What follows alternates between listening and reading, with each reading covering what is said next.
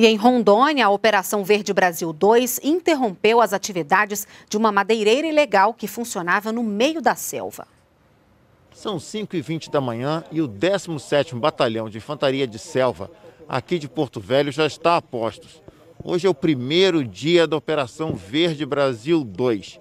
A tropa irá até o município de Candeias do Jamari, fazer a fiscalização de madeireiras e descobrir se há focos de desmatamento na área.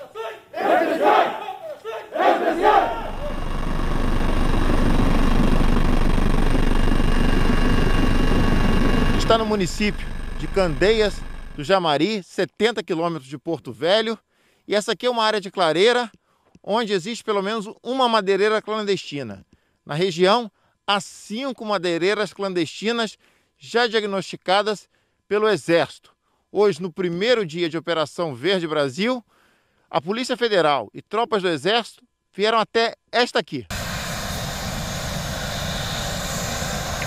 Árvore nativa da floresta amazônica, a castanheira não pode ser serrada, derrubada. Mas aqui, nessa madeireira legal, eles trabalhavam com esse tipo de árvore.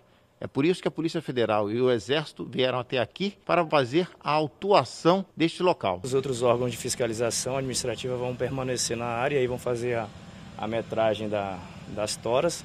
E aí, posteriormente, tudo isso vai ser configurado, documentado e é, juntado no bojo do, do inquérito policial.